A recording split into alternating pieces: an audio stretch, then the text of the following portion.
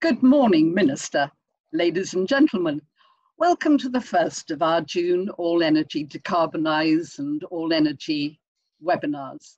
I'm Judith Patten, Project Director of the events and co-creator of All Energy way back at the start of the century. I'm just here to do the housekeeping, to welcome all of you in the audience. With around 700 registered, we would have well and truly filled the Lomond Auditorium at SEC Glasgow. Indeed, we'd have to use an overflow room. We had a superb attendance and feedback from our first four webinars last month, and we're looking forward to your reaction to this month's quartet. I'd particularly like to thank the Scottish Government for their support for the series and for sponsoring this particular webinar. Not only do we welcome Mr. Wheelhouse, but Jim Smith, Managing Director of SSE Renewables, will be chairing the session, and Claire Mack, Chief Executive of Scottish Renewables. Later on, both of them will be discussing what they heard from the Minister. There'll be two opportunities for you to pose your questions. The first will be questions to the Minister, and then later in the proceedings to Jim and Claire. Just use the on-screen facility. Without more ado, I'd like to hand over to Jim Smith, to get the show on the road. Thank you, Judith, uh, and good morning, everyone. Uh, it's a real pleasure for me to have the opportunity to introduce Paul Wheelhouse, MSP, Minister for Energy, Connectivity and the Islands this morning. Uh, and as Judith said, I'm also joined with Claire Mack, the CEO of Scottish Renewables. I think over the last four years now, as Energy Minister, we at SSE Renewables have developed an excellent working relationship uh, with the Minister, and I believe that I speak for the whole renewable energy industry when I say that we feel that we have, uh, we have a passionate advocate for our industry at the heart of the Scottish Government. And we are grateful for the work he has done and continues to do to promote renewables and drive the industry forward. Uh, today, today's event couldn't be better timed. We're coming towards the end of the first three week period following the initial relaxation of the lockdown restrictions in Scotland. And while I think we all appreciate that the virus is very much still with us and the need for caution, it does feel like we are looking forward to what the economic recovery from the current crisis looks like. In that context, I'm pleased that there seems to be a widespread recognition that we shouldn't go back to business as usual and that the drive to net zero carbon should be at the heart of our economy moving forward, the so-called green recovery. I'm particularly pleased that today uh, we at SSE have announced our commitment, subject to Ofgem's approval of the needs, transmission needs case, to build the Viking wind farm after nearly 18 years of development, a major milestone. So without further ado, I'm delighted that the ministers are putting the green recovery at the heart of our future plan for the Scottish economy. I'm very much looking forward to hearing how the Scottish Government will be aligning current energy policy to the green recovery. So with that, Minister, it's over to you. Thank you very much, Jim, and good morning all. Uh, I'm very grateful to Jim for his very kind words, and it's been a pleasure on my part to work with the industry over the period since I've been Energy Minister and, and to work with colleagues such as Jim, Claire and, and Judith uh, in, in, in doing so. I hope uh, all 700 or so of you can see and hear me okay. Uh, virtual conferences aren't quite the same as, as being with you in person, and I'm sure we were all looking forward to being with Judith and the team at All Energy uh, in person, but this is a fantastic opportunity to come together and discuss the issues facing the energy system here in Scotland as we continue our journey towards a net zero economy. And of course, we started the day with the great news that uh, Jim has alluded to around the financial close and Viking uh, wind farm project in Shetland, which I hope will trigger the go ahead for the new interconnector to the mainland. I think that's tremendous news uh, for Shetland. It's tremendous news for SSE, of course, uh, but great news for the renewable sector in Scotland. But first and foremost, I hope you're all keeping safe and well. I'd just like to take a moment to thank the frontline workers uh, who have been working so hard uh, over this period of the pandemic to keep the country going, uh, our lights on and our homes warm through this difficult time. And I'd also particularly like to thank Judith Patten and all the, the team at uh, All Energy uh, for inviting me to speak and for organising this morning's uh, webinar and to Jim and Claire for chairing and what I'm sure will be an expert Q&A session where they'll grill me and make sure that, that your, your questions are put to me. Uh, there are a few things I want to touch on today, including reflecting on the challenges we faced over the past few months, but I really want to focus on the road ahead, our path to a green recovery, and the importance of a, a just transition. And within that, I'd, I'd, want to update you on our heat transition deal and the important role it has in greening the Scottish economy and starting to reduce emissions from heating uh, from our homes and buildings. Uh, before we look at the road ahead, though, it's important we consider where we are right now and the challenges that we face right across the energy sector here in Scotland. Uh, the past few months have been a very testing time for everyone. The COVID 19 pandemic has kept us apart from our families, has halted all non critical work, and made go- doing business even more challenging than it can often be. And the eco- economic consequences of this crisis are likely to be uh, long lasting. And the Scottish uh, GDP figures for April were published this morning, and these provisional figures show that uh, GDP has fallen by around 23% uh, during the current period of physical distancing. Uh, now, while that's uh, staggering, it's broadly in line with figures for the UK. That, that shows the scale of the challenge that we're facing across the UK and in Scotland. Work is underway across the uh, uh, public sector and our private sector partners to determine the actions which will help restart our economy and the Scottish Government's route map uh, sets out the order in which we'll carefully and gradually lift lockdown restrictions. And the Government's four step economic plan is defined by four phases uh, response, reset, restart, and recover. Uh, we are now in phase one, which means some restrictions have been lifted in a limited way. Uh, this Thursday will be the next milestone, and hopefully we will move to phase two of the route map on Thursday. But energy is, of course, an essential sector. So the majority of the energy sector has continued to operate during the lockdown period.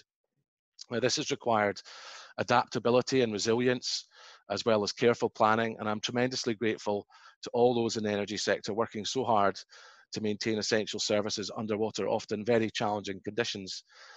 We've been working with um, the, uh, a whole host of organisations, including businesses, trade unions, regulators, uh, to develop guidance for specific sectors and how we can gradually reopen the economy and this guidance will ensure safer workplaces and will provide assurance to workers when the time is right uh, to return to work. By working together with employers, unions, and uh, the uh, workers themselves, we can make sure that our workplaces are safe for all, and this is our number one priority. In oil and gas, a collaborative approach to developing guidance has been taken through Oil and Gas UK, and in the renewable sector, we're in regular contact with local communities, unions, and other stakeholders on guidance. The renewable sector has, of course, developed its own guidance, which will support the safe construction of onshore wind facilities through SafetyOn. And this helpful sector specific guidance is a useful adjunct to the Scottish Government's own overarching construction sector guidance. But the bottom line is that we leave lockdown, uh, as we leave lockdown and restart our economy, we must do so in a way that continues to protect lives, frontline services, and livelihoods. Over the longer term, we must ensure that Scotland's economic recovery promotes inclusive growth, creates opportunities for all, and supports and accelerates our transition towards a net zero economy. Now, clearly, the Scottish Government remains committed to our world leading targets and our goal of ending our contribution to climate change within a generation. We've already taken advice in the UK Committee on Climate Change on the key principles for a green recovery and we're now taking uh, forward work on publishing a revised version of our 2018 climate change plan. And this recast plan uh, will set out a credible pathway to meeting Scotland's world leading climate targets over the period to 2032 as an integral part of a green recovery. When it comes to net zero, the energy portfolio underpins efforts right across our economy. The COVID-19 pandemic has caused us to pause some plans, but we've not lost our overall, ambition on reaching net zero greenhouse gas emissions. And of course, on electricity generation, we're building on very strong foundations. It may have been missed amid the understandable uh, focus on the early development of the pandemic, but provisional BEIS data indicates Scotland generated sufficient renewable electricity supply to meet the equivalent of 90% of our electricity demand in 2019. Uh, that is a huge achievement for the sector, uh, and I congratulate the sector on that achievement, but there is obviously more to do to meet our all energy target for 2030. Right now, we're in planning mode for our economic recovery, but we need your help to ensure these plans are grounded in the reality of what you need, including at regional and local level. And I've met last week with the Renewable Energy Strategic Leadership Group, uh, co-chaired by Claire herself, and continue to welcome feedback on what's needed to aid recovery. We've had a number of successes over the years, and the development of renewables will play an increasing role in powering a green recovery. Now more than ever, uh, we must work together to bring forward new renewable energy projects right across Scotland. And last week saw the launch of ScotWind, the first uh, offshore leasing round to be administered in Scotland. I stress the first, there will not be the last. Uh, this is a significant milestone for both for Crown Estate Scotland and for our climate change ambitions. It marks another pivotal moment for the development of our offshore wind sector, both floating and fixed, and also presents an opportunity to help develop our strategic economic response to the COVID-19 pandemic. But staying with the theme of offshore wind, I'm delighted that the Carbon Trust has now awarded eight contracts to winners of the £1 million floating wind acceleration competition, fully funded by the Scottish Government. And, and these innovative companies have already started work on their proposed technical solutions, including 3D printed anchors and self-charging mooring line uh, monitoring devices. I'm hugely encouraged by the uh, proposal by the UK government to separate fixed and floating offshore wind technologies within the contracts for difference mechanism, as well as once again including more established technologies such as onshore wind and solar, offering a more viable route to market in future rounds. The ability of the contracts for difference uh, to drive green growth is more important than ev ever. The proposed changes in the recent CFD consultation to provide greater economic benefits must ensure that the domestic supply chain secures a greater share from the build out of future projects. However, for our own submission, uh, we have urged the UK government to look for specific opportunities to promote remote island wind, marine energy, as well as floating wind in the outcome, because it's unhelpful, we believe, to pitch all three together when they're differing stages of technological development and deployment. But in addition to CFD reform, we must, of course, see helpful reform to the transmission charging regime, given that TNUoS charges in particular are, I believe, uh, in danger of distorting competition in the CFD auctions themselves. This is a point alongside others that we're actively discussing at both the Scottish Offshore Wind Energy Council and our Network Strategic Leadership Group. We must seek um, to replicate the success of renewable electricity in other sectors. Scotland already hosts several world-leading hydrogen demonstration projects that are helping to determine the role of hydrogen in Scotland's future energy system. For example, the Scottish Government-funded uh, Surf and Turf initiative and the EU-funded Big Hit project are seeing production of hydrogen from wind and tidal energy in Orkney, whilst SGN recently announced that it will build a world-first hydrogen network in Levenmouth, which will heat around 300 local homes using green hydrogen produced from a nearby offshore wind turbine. Later this year, we'll publish a hydrogen assessment and policy statement, uh, setting the potential fuel, uh, fuel role of hydrogen within our economy and the steps needed to help secure that future. the oil and gas sector in Scotland and the UK continues to face ongoing challenges. And we continue to work in partnership with industry to identify actions to support the sector and its workforce during these unprecedented times.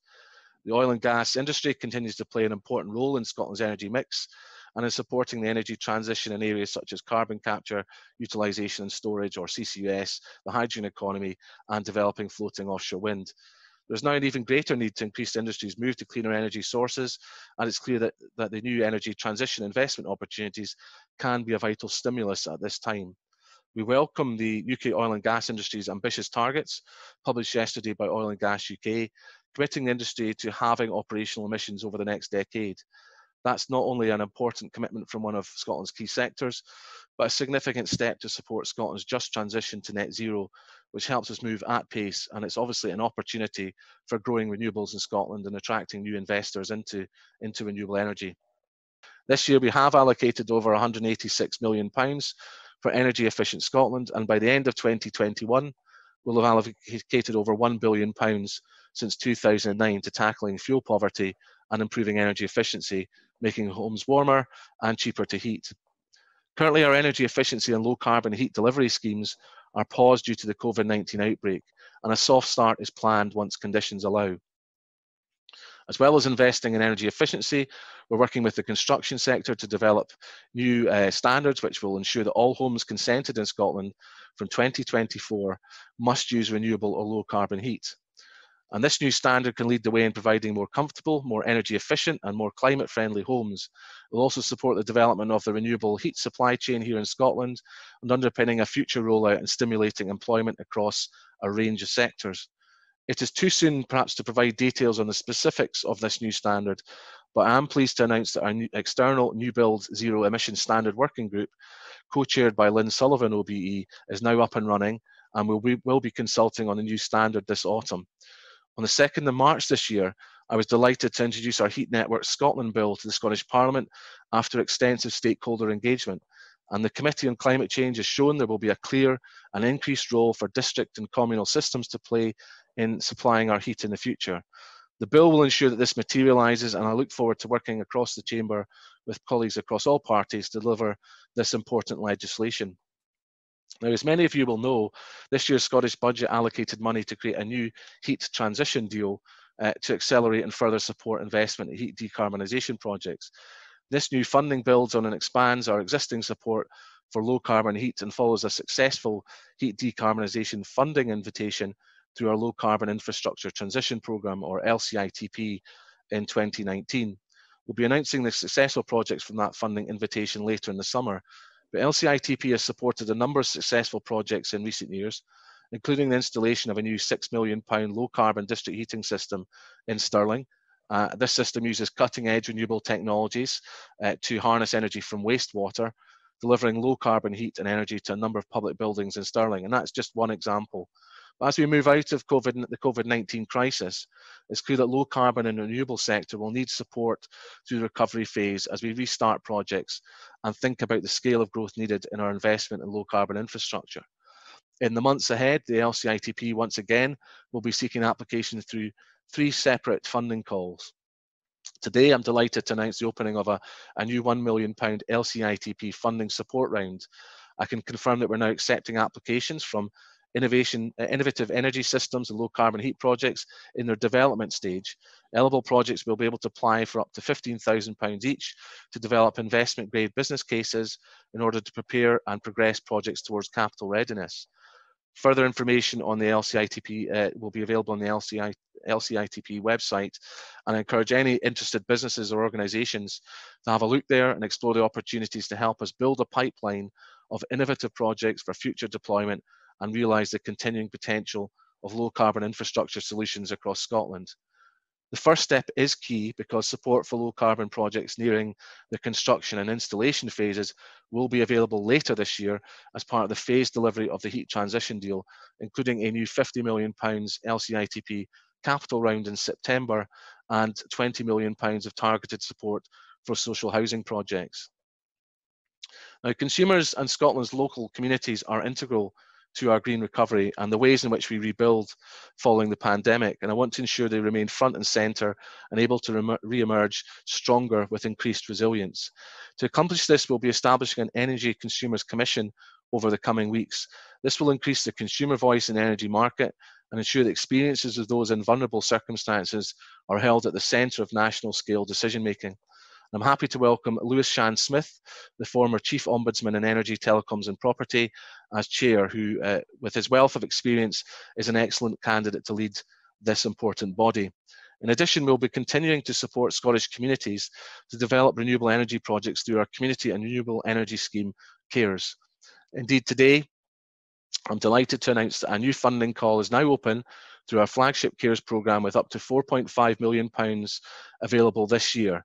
Priority will be given to community-led development and capital stage projects, off-grid communities seeking capital investment to help maintain the security of their energy supply, and rural businesses seeking development support to explore their renewable options. And further information is available on the Local Energy Scotland website. But in conclusion, uh, uh, Jim and, and Claire and Judith, although we have a long road still to travel with COVID-19, it's already clear that our recovery must make Scotland more resilient to future crises, including those associated with climate change. A just transition to net zero is crucial to building our resilience, and it will help deliver recovery from the pandemic that supports emission reductions while ensuring that industry and communities benefit right across Scotland. In anticipation of a new normal, uh, it's paramount that government and industry work together across the energy sector to drive post-coronavirus green economic recovery.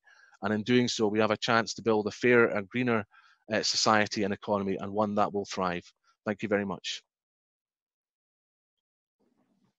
Thank you, the Minister. Um, so we'll open up for questions just shortly, but maybe just to, to get things going.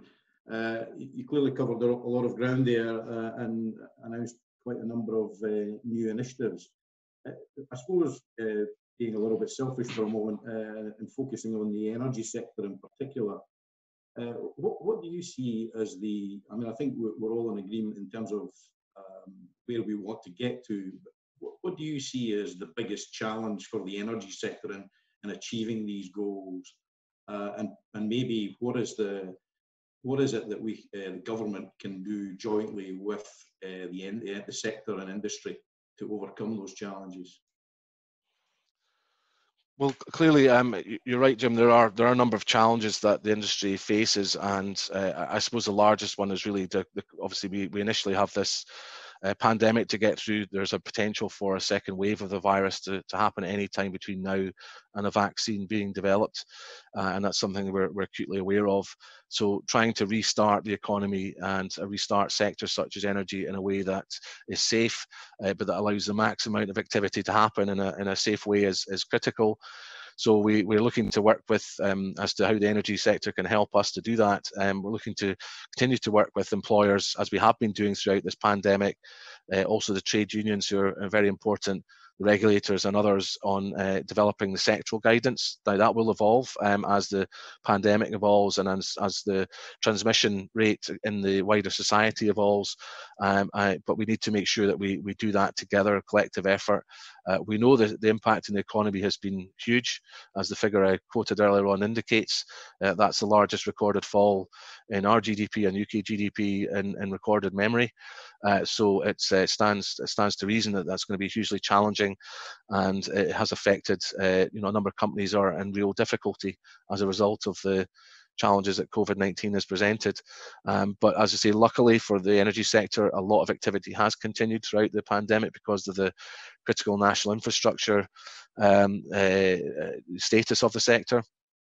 And we're obviously working on the construction guidance, which has been updated on the 11th of uh, June uh, to allow new activity to happen. Uh, obviously, we've tried to be as helpful as possible with guidance, but we're conscious there are significant projects that are needing to get underway. Obviously, Seagreen uh, is a key project of your own, Jim, but the Viking project now as well.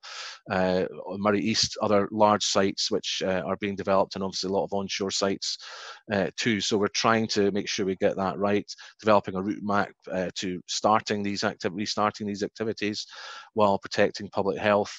And uh, it's obviously uh, important to try and make sure we're we're looking at skills and opportunities. There will probably be a significant shakeout from the oil and gas sector. Four and a half thousand have already lost their jobs within the sector. Now that, that is extremely challenging for those individuals, but there are opportunities to uh, redeploy people with skills into areas that are likely to grow as part of the green recovery.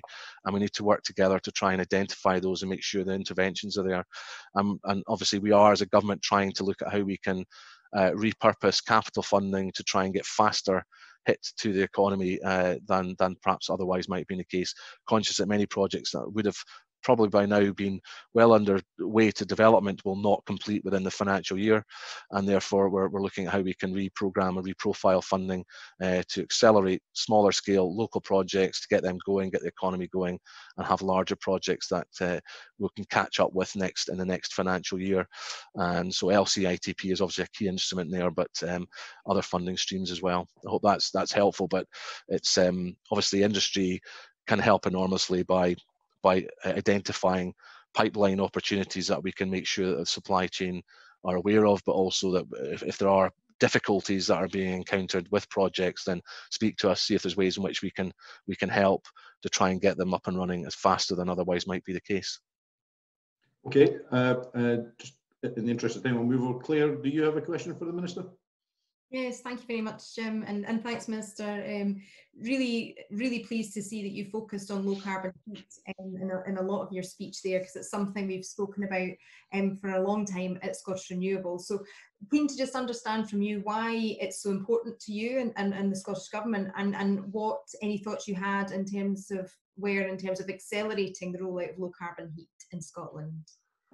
Yes, it's, it's a really important point, Claire, because you know, as we we both know, but uh, for for the wider audience, that more than half the energy we consume in Scotland is in the form of uh, providing heat and cooling, and therefore, anything we can do in heat, and it's a very large share of our annual emissions as well. So, uh, it's an area that probably uh, we've done fantastically well in electricity supply, I'm less proud of what we've done in heat. We've tried, but obviously we need to make major step forwards to, to make the inroads into um, the energy provided for, for, for heat.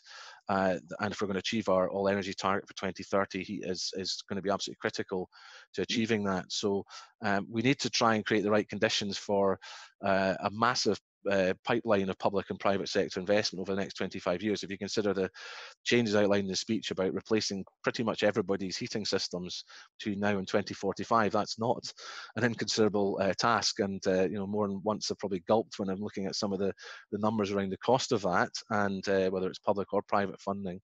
And but there is an opportunity in that because that creates a huge investment program that hopefully will be a positive benefit for the economy in terms of supply chain. And we know investment in local heat and energy efficiency projects tends to have a very high multiplier and a good effect at a local level as well. So it's a, a key part of that uh, green growth recovery. Uh, but we need to scale up. Uh, we need to get our supply chain ready uh, to take on the scale of task. Um, that means giving a little bit of visibility to that pipeline and not imagining it's going to happen overnight, which I know is a frustration to some, but we're trying to get the, the right building blocks in place. So the obviously the uh, heat networks bill we hope to complete by the end of this parliamentary session, so before next uh, the end of next March, uh, which will be challenging, but Parliament is up for that, and we're, we're certainly on track. We hope to achieve that. Um, but the the uh, delegated powers um, legislation that will have to go to the secondary legislation take up to two years to go through. So we're looking at really that kicking in about 2023. So we're trying. That's just one example of getting the building blocks in place. And uh, LCITP, for example, combined with district heating loan fund are we're through those routes we're providing significant strands of funding to try and uh, pump prime both district heating projects and wider heat projects. And uh, later this year we'll also set out as i said in the speech heat decarbonisation policy statement and an updated uh, route map for energy efficient scotland as well uh, but just in line with the question that jim asked uh, first off uh, we can't leave this just to government. Government cannot achieve this on our own. Uh, absolutely cannot achieve this on our own. So we need to work with the energy sector and those with specialist knowledge to try and demonstrate the right solutions, the right technologies, uh, raise awareness of the opportunities and devise uh, new business models and, and, and de-risk investment so that we, we get the scale of, of investment to match the ambition. And that's not going to be easy, but we I know we've got a good a good platform on which to work together on that. Thank you. Okay, uh, so we'll move to questions from the audience and they're coming in thick and fast. So uh, apology, I'm sure I won't go through them all, but I'll try and pick uh, ones that are uh, relevant across a number of sectors. So the, the first one, uh, hopefully, is a fairly short one. What would be the earliest and latest timescale that the offshore wind sectorial plan will be adopted? Oh, that's a that's a cracking question. um, we're obviously uh, keen to. We're obviously with the, the, the ScotWind leasing round, uh, we have we have set a kind of a. I know it's a, a question that many people have around the cap uh, of 10, uh, 10 gigawatts uh, cap. Um, we're obviously trying to to get uh, moving on that fast, and the draft sectoral marine plan, which is affects not just myself but other ministers as well, including Mr. Ewing from a fishing perspective and Miss Gougeon, Miss Cunningham uh, from a climate change and an environmental perspective. Uh, we will try and press on as best we can. I, will probably have to come back to you on the, the earliest date because I know everything is affected by COVID-19, uh, but we are beginning to kind of get back to a, a new normal ourselves. And I know that's a high priority for us to get that in place, but uh, we'll certainly communicate that through through Scottish Renewables and uh, individual companies if that's helpful, Jim. Okay. Um, so the next one is, uh, let me find the one I was looking for.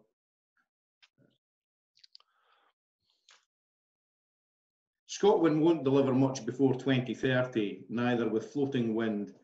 Uh, these have uh, long leads and delivery assumes they will compete against other UK projects. Onshore wind is the quickest and lowest cost to delivery as part of the green recovery and to hit 2030 targets, yet for scale and volume. Changes needed to Scotland's planning system to accommodate modern, larger, efficient turbines. Why delay planning reform to 2022-23 in the midst of two emergencies? Are there any interim measures that can be taken?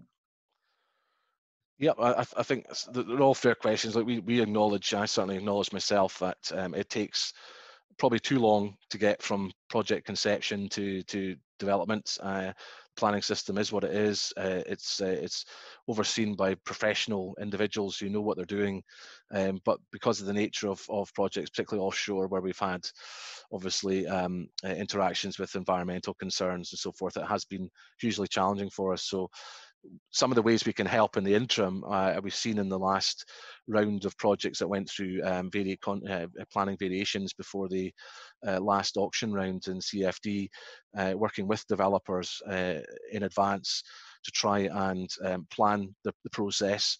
Uh, there's been very good engagement between Marine Scotland and developers to try and have sort of various gateway points and check that information is ready to try and smooth the process as best possible without guaranteeing the outcome making sure the process itself works as smoothly as possible.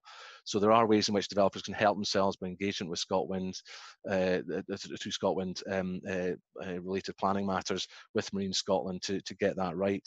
Um, we do recognise obviously NPF 4 is, um, is is progressing, and I know Kevin Stewart is keen to try and make sure that NPF4 reflects the need for the climate emergency to be addressed. The government itself is very keen to ensure that we try and um, iron out the creases if we can to speed up the process and planning and consenting. Um, you know, we've got, as I say, very good individuals doing it, but the system itself can at times be quite difficult uh, for developers and for those scrutinising projects. So um, certainly there there is a good argument there, I think, for reform. I do recognise the role onshore wind has to play in uh, helping us achieve our uh, goals around greenhouse gas emissions and our all energy target. Delighted, as I say, that CFD is now potentially available for uh, onshore wind again. Um, but we're also seeing some exciting developments with merchant projects in Scotland, not least uh, remote island wind projects such as Viking. The decision today shows that um, even in the absence of CFD, I know it's usually challenging for the developers uh, and it has consequences for projects, but uh, from a climate point of view, it's fantastic to see projects like, uh, like Viking coming forward and other significant developments. So um, have a dialogue with us if there are, if you have ideas uh, about how you think the planning system can work without without throwing the baby out of the bathwater in terms of uh, the the need to to have appropriate scrutiny of planning projects. Um, uh, planning applications rather, um, then please do engage with us because if we can try and make the process simpler, easier to, to operate, then that's something we could feed into Kevin Stewart and his team. Do, do you do you think there is any chance or opportunity to bring the reform forward from the 22-23 day that's currently being stated? I mean, it's, it's, certainly. I mean, it's, it's difficult for me to answer because because obviously Mr. Stewart leads on on planning matters, but but certainly I know there's an appetite to see what whatever we can do uh, to make sure it happens faster, Jim. So uh, I know there's a lot of thought going into NPF4 itself and, and planning reforms um, to to make sure that we are trying to do that as quickly and as, as, safely, obviously, from the point of view of making sure it's it's appropriately drafted, but make sure that we get that right. Uh, but to try and do it early, we we all recognise the pace that needs to, to be developed here uh, to achieve our, our 2030 target, which is probably the more difficult of the two targets to achieve um, of the 20, 2030 and the 2045 targets. I, am I'm more uh, I'm more kind of uh, sort of uh, stressed, I suppose, about how we're going to achieve the 2030 target because it is 75% emission reduction by 2030, which we know goes 5% beyond what the Committee on Climate Change said is possible in that timescale. So that does need me, we need to move quickly, and and I'm sure all efforts will be made to try and catch up on lost ground because of the COVID-19 uh, pandemic. Okay, thanks.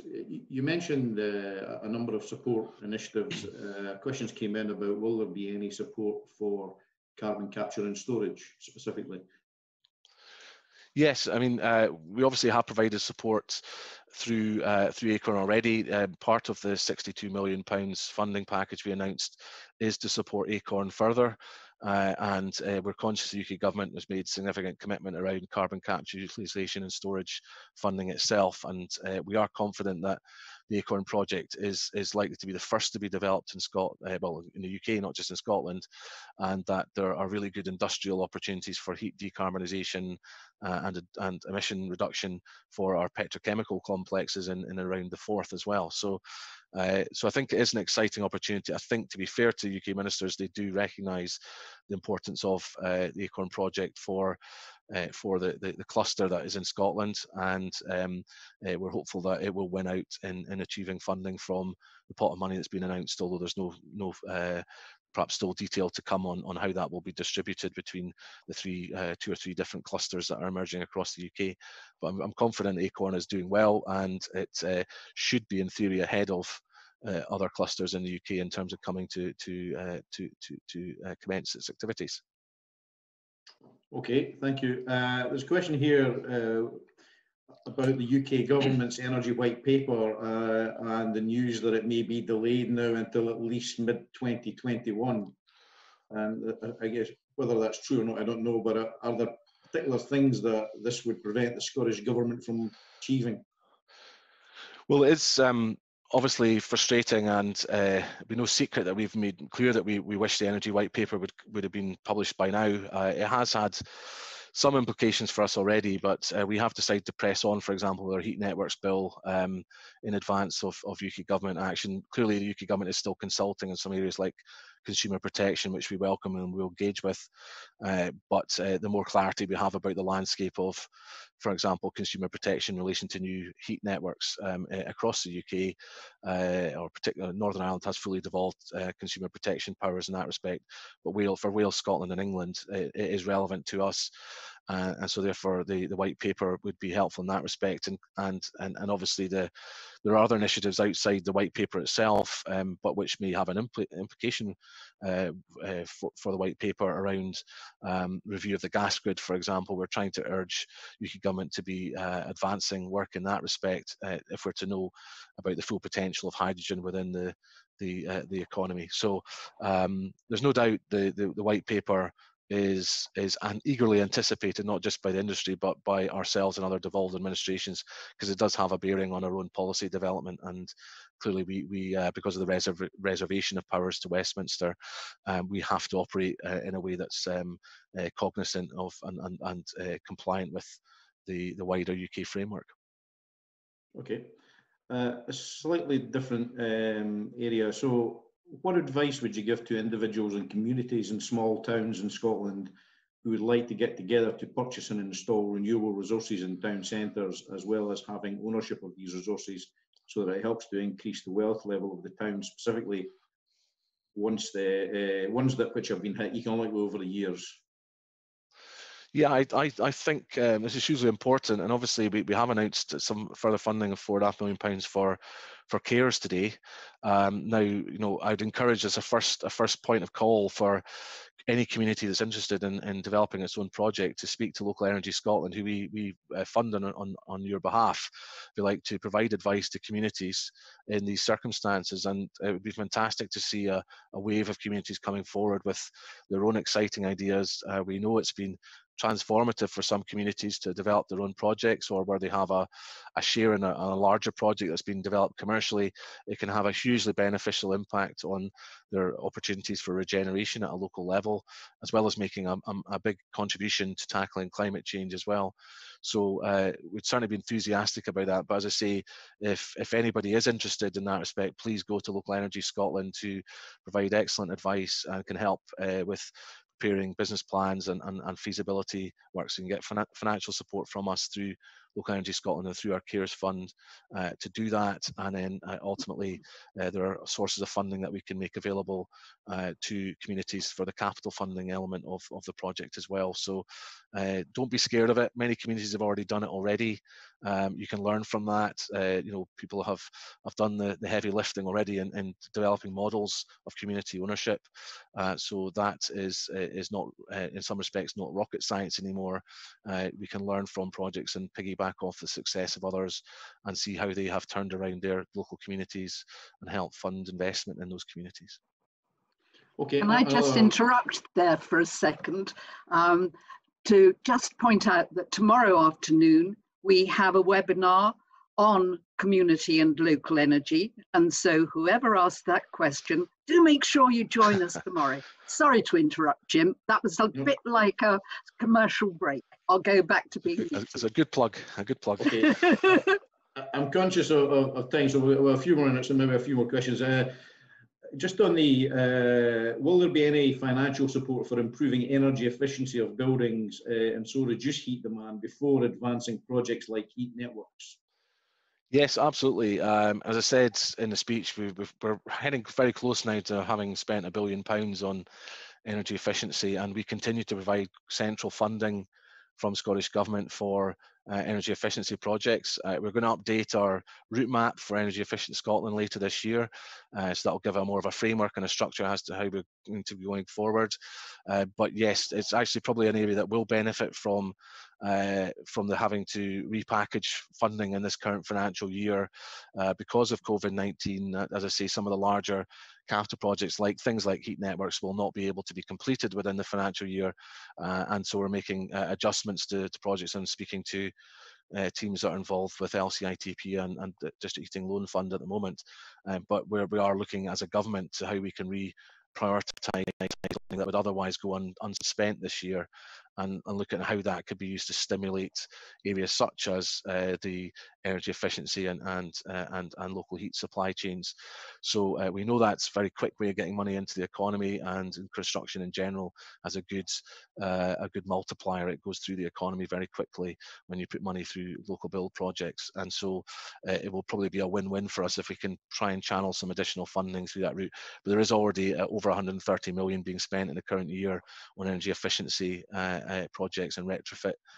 so um, that's a significant chunk of money. Unfortunately, obviously, contractors have been prevented from going into buildings during COVID 19, and so I'm sure it's beginning to hurt uh, the supply chain. But hopefully, as we move through the phases, that can quickly recover and we can get back and back going again uh, in this current financial year. Okay. Um, the uh, uh, uh thing that's come up in a few questions really is about the, the, the something that you mentioned in your speaking that was transmission charging in Scotland. Mm -hmm uh, and the sort of disadvantage it puts Scottish projects at relative to those down south, which is obviously particularly relevant for CFD auctions. Um, what, what, what can the Scottish Government do to try and address this, uh, this competitive disadvantage for Scotland? Well, the first thing to say is I, I, definitely do think it is a challenge and it is a serious one for projects in Scotland, but hopefully not uh, a killer blow.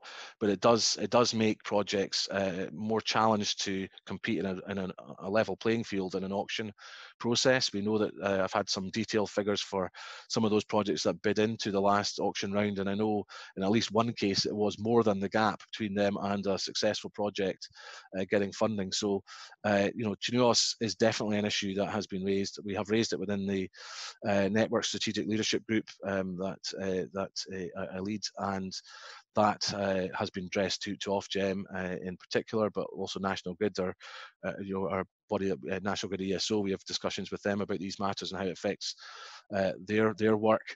Um, we are conscious that there's potential for uh, code changes that could change the, the zoning uh, arrangements, and that may or may not be positive.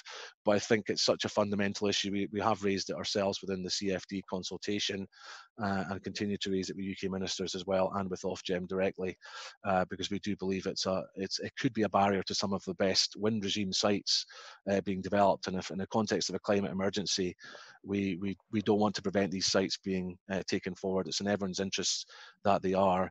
But another way in which the Scottish Government can help, aside from lobbying on these matters, is to try and develop other opportunities, such as hydrogen, for example. So if we can develop green hydrogen in Scotland, or we can put demand load on the grid in the north of Scotland for various purposes, that can help offset uh, uh, the, the, the, the, differential impact that TNUoS has on projects. So if we can uh, rebalance where demand and supply is, uh, by, by perhaps growing our hydrogen economy in, in areas like Shetland, Orkney, and on the mainland of Scotland, uh, Western Isles, we may be able to help offset some of the disadvantage that we face.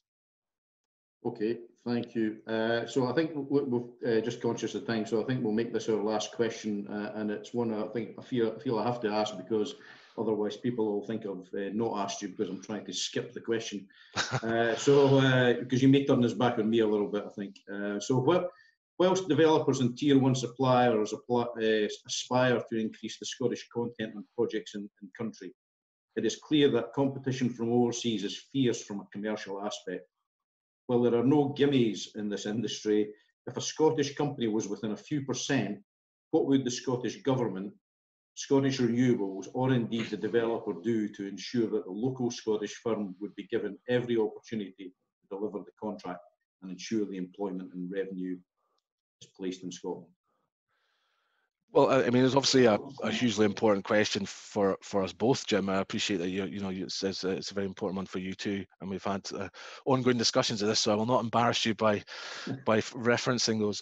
But I mean, it's it's it's such an important one. I think there's an opportunity here for partnership working between uh, companies, developers of projects, and uh, tier one uh, suppliers, tier two suppliers, and, and and and down the supply chain obviously we, I recognise that the CFD mechanism as it currently stands has been a wonderful thing for bringing down cost of electricity consumers, but it has put enormous pressure on the supply chain because it's made it almost impossible for uh, projects to to um, uh, get to a place where they are able to have those kind of strategic relationships with the supply chain and to invest in the supply chain.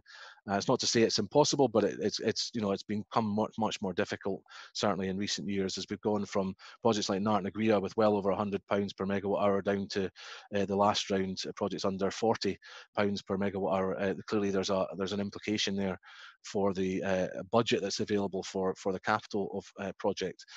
But um, I think what we hope to achieve out of ScotWind is a first step, and it will evolve over time, no doubt, with the supply chain uh, development agreements, uh, is to have a different kind of relationship. So from the very outset, to identify where, what areas of the supply chain a developer is most likely to consider using in Scotland versus maybe rest of the UK and, and overseas, and then to work with those suppliers and, and in those parts of the supply chain to be as effective as possible in trying to narrow the gap. Now, we can obviously get good feedback, and we often do from, from developers as to the, the, the delta, if you like, between what uh, a company is, is charging and what it really needs to achieve to be competitive.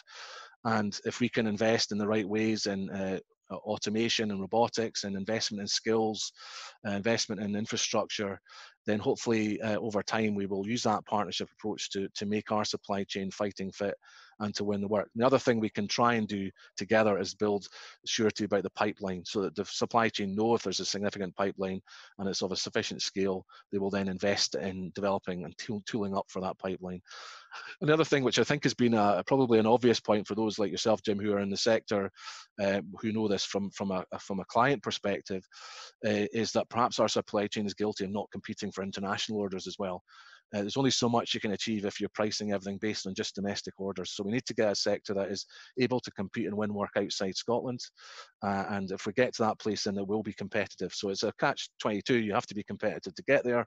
But if you're getting into that sort of position, then you probably are genuinely competitive because companies that export tend to, by their nature, be more competitive. They need to be they are sharper. They're aware of what the competition is doing, and they're constantly scanning for for technological changes and other things. So there's a lot of work to do, and that's what Scottish Offshore Wind Energy Council is very much focused on, and Claire is very much at the heart of that. Uh, and we've obviously got um, a supply chain uh, group within the SOWEC, which is uh, absolutely driven to try and find ways in which we can work better uh, in a, in, a, tripartite way between. Uh, developers, supply chain, and government to try and try and help achieve a better outcome for for supply chain. I hope that has, not put you in no, too difficult a position, Jim. No, but I think no, thank, you know, the reality I mean, I, of the situation. Think, you know, thank, no, thanks, and I think you know, I, uh, you know, I, I recognise the issue, and we need to uh, try and uh, advance that. Uh, the current framework doesn't make that easy at all. But I mean, I think the other thing we probably shouldn't lose sight of there have been there have been and are many successes where a lot of small companies have actually grown on the back of renewables starting off and onshore. Um, you know, you know, for for example, you know, I give an example in our announcement today with uh, uh, Viking that's subject to the Ofgem work. We've got a local civil contractor who's going to start works very shortly uh, on Great. that, and then RJ McLeod, another Scottish company, will be involved in that work as well. So, but, yes, but uh, so there are many of those, and I think I think your point about technology and innovation is really important as well. We, we've got we're doing some quite exciting work with uh, welding uh, company, uh, which will look at introducing new welding techniques, which will bring down the costs of offshore structure foundation dramatically. Yeah. using technology to compete if, in effect. But anyway, if I look at conscious of the time, so um, appreciate your time and, and you know I'd like to thank you on behalf of everyone listening. I apologise to those whose questions I didn't get around to. Hopefully, I got a, a reasonable cross section of the questions that came in. So, thank you very much, Minister. Thank you, Jim. Thank you, Claire and Judith. Good luck with the rest of the webinar. Thank you. Thank you. So I, I think uh, now that we've finished with the uh, minister's uh, questions, just I'll take a, an opportunity maybe just to reflect on a few things that link to what the minister has said, um, and then I'll, I'll, maybe pass over to Claire, and then there'll be an opportunity to, uh, if I didn't get your question, maybe to either if you want to send it to us, uh, or indeed any other questions. I, I mean, I think uh, you know, just in the, this whole greening of the and using the green economy to kickstart um, the economy on the back of COVID, I think you know the, the UK became the first major economy in the world to pass laws last year to end its contribution to global warming by 2050. So that challenge in itself was as it was big enough. Uh, I think what, if anything, COVID has helped us bring sharp and sharply into focus the need to really accelerate activities to achieve that. Um, so uh, one crisis uh, in terms of climate change uh, can perhaps help us get out of the current crisis. Um, I mean, the new UK government has already committed to backing uh, our call for ramping up renewables uh, with a new target for, of 40 gigawatts of offshore wind by 2030 as part of that route to, to uh, uh net zero by 2050. Um, and I think in advance of the critical, you know, the UN COP26 climate talks that will take place in Glasgow now next uh, November, I think it's a great opportunity to for the government to set a world-leading uh, net zero roadmap to really energise the next phase of delivery. And I think you know we, along with I'm sure many of the others in the industry, are ready to serve that. I mean, I, think I just I maybe like to touch on a few of the challenges that the the minister touched about. I mean, we, we're delighted that the Crown Estate Scotland have now launched uh, ScotWind last week. Um, you know, that's the first offshore wind leasing round in Scottish waters for a decade. Uh, and it, it, was quite heartening to hear that it wouldn't be the last. Um, I mean, renewable energy is going to play a vital role in building uh, clean and sustainable recovery for sure uh, following COVID-19. Uh, and of course, uh, as the Minister quite rightly pointed out, it's not just about uh, electricity, it's about heat and transport but of course, solutions to heat and transport, whether it's direct electricity or indeed hydrogen, uh, will require even more uh, am amounts of, of uh, clean, renewable energy. So uh, it, it, it, actually increases the the challenge for the renewable energy sector. Um, and we're certainly reviewing our options for participating in both the Crown Estates uh, round four process down south uh, in England and Wales, and indeed the Crown Estates uh, Scotland's process, both of which are going to run over the uh, the next number of months. You know, I asked the question about, and, and someone else had asked about transmission charging. It's clearly a key cha challenge facing offshore wind in Scotland. Uh, you know, as the minister said, these costs are a significant burden. Uh, interestingly, he quoted an example where someone has probably possibly missed out on a uh, a CFD contract simply because of that additional cost, and, and that, that certainly wouldn't surprise me. Uh, and, and I think we definitely do need to tackle that. I, thought it was also interesting to hear from the minister that the hydrogen, the hydrogen economy, is potentially a way of addressing this. And I, and I absolutely, you know, I more and more beginning to believe that hydrogen has got a key role to play. I think one of the big things about uh, decarbonising the heat uh, sector is the uh, the difference in demand between summer and winter, and it's really difficult to to do that through electricity, uh, and therefore hydrogen can clearly, because it's relatively easy to store, unlike electricity, can have, have a huge part to play in that, uh, which I think is really important. Uh, and, and may well help in that issue of transmission charging. But I think more still needs to be done for uh, us to be able to grow renewables in Scotland. Um, I think also there, there needs to be, in, in, in, related to grid and grid infrastructure, there needs to be a much more efficient approach to the development of grid infrastructure, uh, particularly for offshore, where we've seen point-to-point -point approaches for the development of grid uh, under the current OFTO arrangements. Uh, and I, I, think the signs that potentially Ofgem will start to consider uh, anticipatory investment in the transmission system rather than waiting until it's actually required, which uh, we quite frankly don't have the time for. We really need to get on and build the infrastructure uh, ahead of the uh, the transmission infrastructure ahead of the generation plant. Um, I think similarly, we, we you know there are uh, going to be a number of challenges with offshore consenting. Uh, the North Sea, certainly in the south, and this is potentially an advantage uh, an advantage that Scotland could have. The North Sea uh, down south is becoming quite congested, and indeed I think we've seen only in the last couple of weeks a project uh, being rejected because of uh, interference with shipping. Um, so uh, clearly Scotland uh, has a lot more seabed available to it, albeit further from demand, uh, and hence the transmission issue. But um, I think the the UK offshore wind industry is seeing more complex consenting issues, particularly with regards to cumulative impact issues on protected species. Uh, so to address this, we, you know, we firmly believe that there needs to be a development and adoption of a strategic level approach to marine spatial planning and the Habitats Directive derogation process across the UK government and indeed the devolved administrations. Uh, this, this wouldn't weaken environmental and species protection, but would provide a more comprehensive approach than we currently have at present. Uh, you know, I, I would just like to re-emphasise. You know, asked we asked someone asked the question about uh, the national planning framework four, and I think for the onshore wind industry in Scotland, if we are really serious about kickstarting the green economy, I really think the the government, the Scottish government, really need to look to bring that forward as quickly as possible. And if failing that, to at least uh, introduce some sort of short-term measures. There should, in, in, our view, be a presumption in favour of development that supports uh, the renewable energy net zero targets. Um, it's clearly a signal that the priority of achieving net zero will necessarily entail a shift in the balance of planning judgment towards infrastructure necessary to meet net zero targets.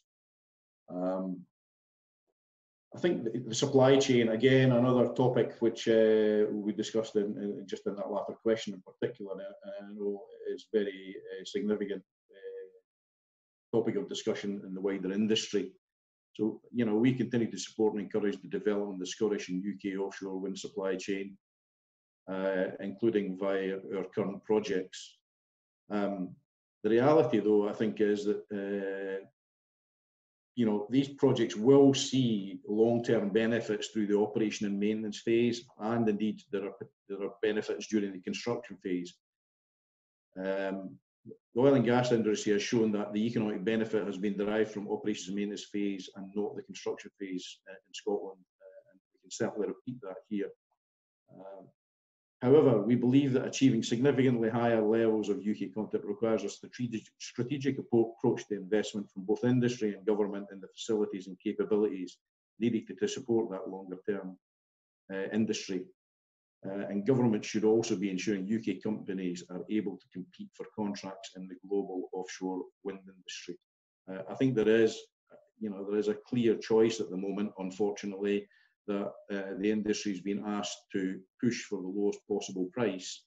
And at the moment, that isn't compatible with a high amount of UK content. Um, I think I referred to it back in January as the elephant in the room, and, and the elephant is still very much in the room and something will need to change if we're going to make progress in, in this area and we and help contribute towards a just transition. And maybe uh, you know, I was I was pleased to hear the minister mention carbon capture and storage. And the wider SSE group, we've had two attempts now at trying to do pilot projects at Peterhead. Uh, Peterhead's played a crucial role in the system in Scotland that's uh, you know uh, continues to provide reliable, flexible generation and it will continue to do so. So we are, we are now, as a group, aiming to decarbonise our future gas generation sites using carbon capture and storage, or indeed hydrogen if that is developed. Um, Peterhead's well placed to facilitate this type of generation, given its proximity to Grangemouth Industrial Cluster. Um, we're a member of the Northeast CCUS Alliance, playing our part in driving the change in support programmes needed to reduce carbon emissions from industrial sources in Scotland and beyond. So I think whilst uh, renewable generation is a, clearly a big focus for me, I think carbon capture and storage is uh, really important for the transition and indeed for heavy industry.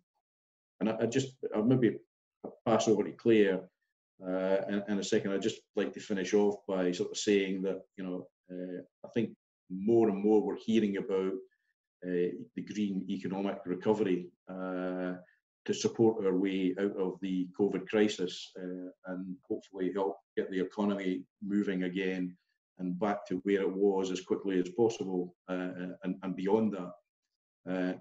I'm really, you know, pleased and actually proud that in the last two weeks we've announced Seagreen uh, offshore wind farm going through financial close, a three billion pound project with a significant portion of that being invested in Scotland and certainly over the life of the operational phase of the project as well. And then today, as I mentioned right at the start, uh, Viking onshore wind, uh, which is a 580 million pounds investment uh, for the wind farm and will obviously trigger uh, the transmission link to Shetland, linking it to the UK uh, grid for the first time in its history. Um, a, a, really exciting project for us, and so you know, I, would be kind of selfish in saying we, I think we're not just talking about a potential green economic recovery. We've actually started to get on with it. Uh, the SSE group as a whole, actually, uh, our plans for the next five years on low carbon infrastructure. If you look at our transmission business as well, we're looking to spend about seven billion pounds uh, in that five years, which equates to about four million pounds per day for the next five years. Uh, so that, I'll, I'll, I'll, bring the advert to an end, if you like, that little bit at the end. But I, I think there is there is a clear opportunity. There are still hurdles, many hurdles to be overcome. Uh, but I think if we everyone keeps focused on achieving net zero, then all of these hurdles can be overcome. Uh, so Claire, can I pass over to you?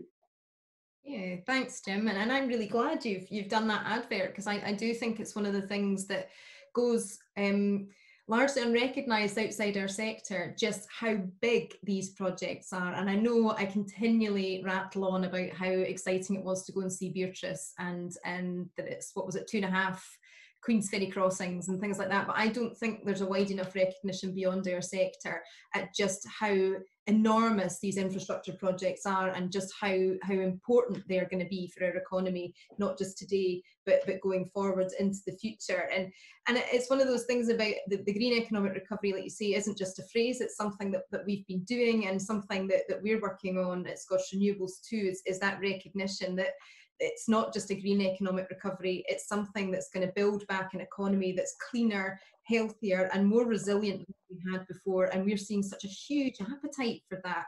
You know, everywhere that, that we're tuning into webinars, everybody that we're speaking to, all talking about the same things um, about what they want um, for the world going forward because this has just given us such a hard stop and not just as, as industry but as a society um, and made, given us that opportunity to pause for thought and think about what it is that we want to do. And so there's there's so much opportunity in Scotland and particularly with renewables at the heart of it for that green economic recovery in terms of we've got an existing skills base within oil and gas. You know we now would be the a great time to start transitioning them in you know in earnest. Absolutely accelerating that that move of people away you know perhaps from from oil and gas where we've started to see you know terrific downturns in, in what what they're trying to do into what we're looking to do which is a number of of really strong and, and a number of shovel ready projects actually in that in that green space um, for us to, to be able to continue with. And if you look internationally the demand for those skills and, and having gone early means that, that we've got them right here. We've got a good base level of those skills here. The demand for those skills to support green economic recoveries internationally is going to be huge you know, we've we start we've started tracking that at Scottish Renewables, and it's really really impressive.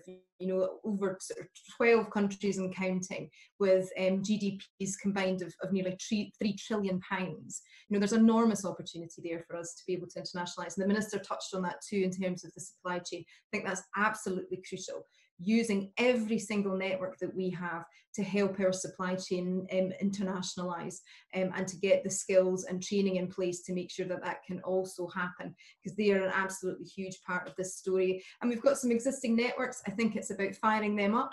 I think it's also about going on the trail you know going out and seeing why is it these other companies are winning this work? Is it just price or is there other things other lessons we need to learn and bring home to, to be able to, to create that innovation and efficiency um, throughout the whole of our supply chain to give them the best possible opportunity because because they are a huge they form a huge part of that jobs and investment story in there as well I think some of the other things that I'm keen to reflect on, perhaps between between both of us, Jim, is that um, we we certainly heard a bit there about um, about some of the challenges um, and, and planning, you know, delays in planning being one of those challenges as well, and being able to bring forward that efficient and intelligent grid. I think you were speaking speaking about that too, um, and how how we managed to do that. Because I think minister too had mentioned that he's more concerned about the 2030 target, more difficult to achieve, um, and I think we're all very very aware of that um, that, that we need to, to, to, create, you know, we just need to accelerate that planning and consenting process, whether it's onshore or offshore.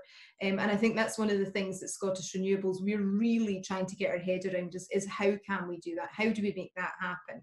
Um, and, and, you know, interested to, again, to talk about, somebody asked the question about interim measures um, and, and really pleased to hear that you know the minister's prepared to work with us. You know that you know there's a good argument for reform, was what he'd said, and and with appropriate scrutiny. So um, one of the things we've been hearing from members as we've gone through this process is that move towards e-planning and engaging people slightly differently, you know, engaging in people in a more accessible way in a number of ways through sort of digital platforms as opposed to the to the process that we followed in the past, which has been heavily paper driven and heavily kind of town hall driven.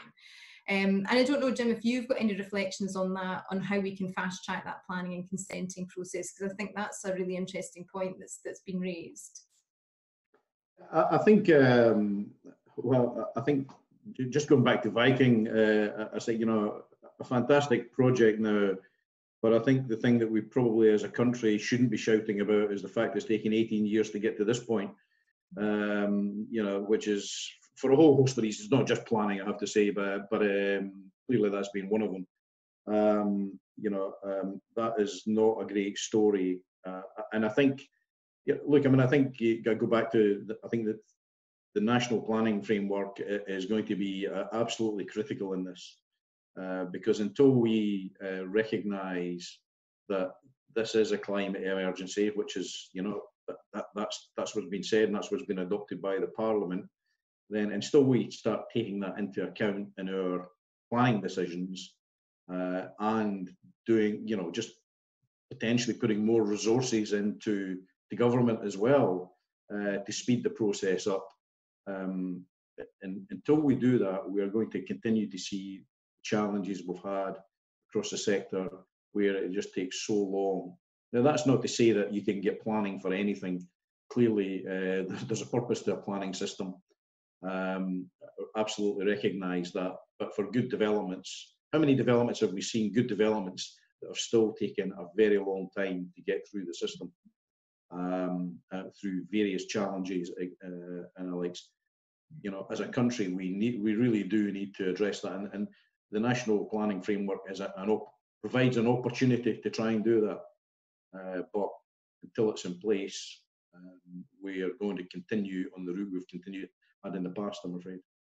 Yeah, and I think really important as well is is one of the things that I kind of or we question frequently within membership and within the team at Scottish Renewables is how reflective some of those decisions are of public opinion. I think when we start to look across the board, um, there's a very there's very definite kind of cliff edge and think in terms of age for sure. You know, you, my kids have grown up in a world of turbines. They don't see them in the same way as perhaps others do, and I think it, the accessibility of, of, of what we do is, is is opening up and i think we also need to do that on the other side too is opening up that decision making to to to public opinion as well because this is it's a really really big issue and it does have an impact on the kind of world that we are going to live in in the future and I, I think it's really important that it does manage to do that as well. I think one of the other areas that I was keen to reflect on with the minister, and I think you've got a really strong kind of, um, you know, point to make here as well, or, just an input into this, Jim, is around about uh, there was a lot in there about oil and gas and the tr transition of oil and gas into renewables. Um, and obviously, you've uh, picked up a very high-profile partner recently um, in uh, in Total, and wondering about brokering that relationship with the oil and gas sector and, and, the alignment. So I can see lots of areas where there are alignments with, with oil and gas. So things like skills, there are kind of obviously technology innovation alignments. I think there are there are others as well. I think um, potentially looking at things like um, regulation and uh, managing the users of the sea. I think that's something that, that we have in common, which is something that, that we, we, we all need to tackle. Um, but interested in, in your reflection on that and how that, that relationship is coming together and, and where the alignments potentially are. So I, I mean, I think uh, the oil and gas industry has clearly, uh, I think to be fair, say tinkered with renewables over the last 20 years. There's been various false starts um, I don't think there's any doubt now that uh, with what's going on in the world, that uh, is becoming a much more serious issue at the, at the board level of these companies. Uh, and there is no, yeah, clearly the current oil price doesn't help in terms of in, in their investment uh, capacity, but they are clearly all very large companies, and there is no doubt they are going to turn their investment attention to renewables on a scale the like we've not seen to date. Uh, they clearly have a lot of technical skills as well. Uh, you know, the offshore oil and gas is clearly a very highly technical uh, industry and it's had a lot of innovation. Um, so I, I, think we will see their involvement in the sector grow. And I mean, the ScotWind, uh, the Crown Estates leasing round, and, and indeed other seabed uh, leasing uh, around the world, I think we'll see more and more oil and gas interest. Uh, I'm sure, you know, to some extent, they become a competitor of ours. Um, so, um, but but exactly what that means in the long term for the industry, I don't know. Maybe offshore wind will become a bit like the oil and gas sector in the way that projects are developed. Uh, certainly in terms of joint venture partnering, where the oil industry has been doing that for years with a lead operator. Um, you know, none of even the big companies don't tend to do 100% development of oil fields because of the scale of them. Um, so I think you know the, the, there are there are clearly opportunities for the oil and gas sector to come into to this space, uh, and it looks like they are now mobilising to do that. Yeah. No, absolutely, and, and and I think there's there's some really clear opportunities in there, particularly around the development of floating. It's on, on obvious technology that they're very interested in and have that capability to fast track because of their investment capability. Um, and that, that management of the energy transition is something that we obviously need, need to do together. Yeah, I, I, think a lot of the comments around about heat, brilliant. You know, Lucy had said that earlier, really keen to see those. I think investment in heat is something that um, we, need, we need to, to explore. Just we need to explore a lot more um, as, a, as a nation um, around how do you, how would we consider driving investment in heat, particularly at that local level. I think Minister mentioned local and regional economies, you know, a number of times in that speech. Um, and we, we do need to get that plan for heat. You know, we need to be able to, to work out how we can get local authorities comfortable with, with being investment partners in some of this, you know, because I think there is great revenue opportunity. And, and I just, I cannot see any you know better opportunity for an inclusive growth project than heat you know highly directable you know needed everywhere could go rural first we have the manufacturing capability here in the UK. It also coupled with that kind of civil engineering contingent that, that we know provides that economic bounce. I think, you know, heat really does present an enormous opportunity um, for us too. I think just one of the final reflections I had there, and it's one that I genuinely don't have an answer for, um, is is that role of consumers. You know, the minister announced the, the Energy Consumers Commission, um, very important part of this next phase of decarbonisation. You know, we've we've been very efficient, I think, as an industry at doing the electricity part of this but the next phase sees us with a whole new set of stakeholders in that heat and transport space. And I'm just um, very interested in, in, in, in, where we bring the voice of consumers into this. I think, again, it's linked into that planning point I made earlier, is that I think planning does really need now to, to, to to reflect public opinion. And I think we also need to we need to be getting better as a sector at, at just tuning into that kind of public opinion because because they are going to be instrumental, particularly I think in that transport transition um, as as consumer demands for, for things like new vehicles and, and the infrastructure that supports them is, is absolutely critical, I think, as we go forward. Um, so those, those are largely my my reflections, but yeah, an excellent speech as ever. No, okay, Was, thank you. wasn't Claire. it just? So, Judith, Judith, I think I'm going to hand over to you if there's any further questions coming in. Well, you're looking at me at just the moment. I'm looking at a question that starts SSE renewables. So why don't I go for that one? SSE renewables seems to be leading the way on renewable energy development in the UK. What are the current obstacles you face that if removed or reduced could lead to a faster and sustainable growth in renewables?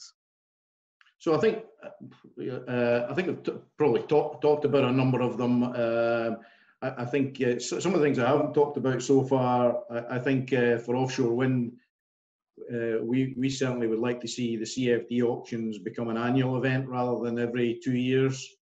Um, you know, to, to reflect the increased targets. I think that will clearly help.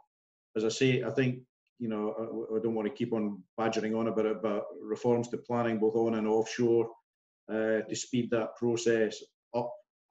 Um, but I, you know, and I, and I think with with uh, access to regular CFDs, um, a speedy planning process, and uh, you know, the, again, the other question of transmission charging specifically for Scotland, because uh, and clearly a lot of the resources in Scotland, uh, but the demand isn't. Um, then if you you know if if you pick those three things, uh, that would go a long way to helping uh, us accelerate and go even faster than we currently are.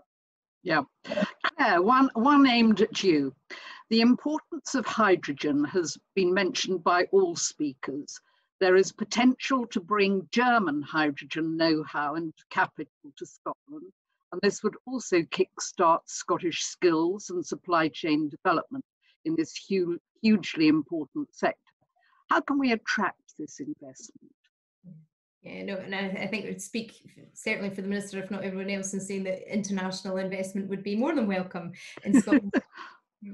yeah, hydrogen is, I think Jim's already said, you know, huge, huge part of the story. We know it's going to be a huge part of the story going forward. Um, you know, and it's uh, it's it needs it needs that strong signal. And you know we're expecting um, hydrogen policy statement to come through um, for Scottish Government as well.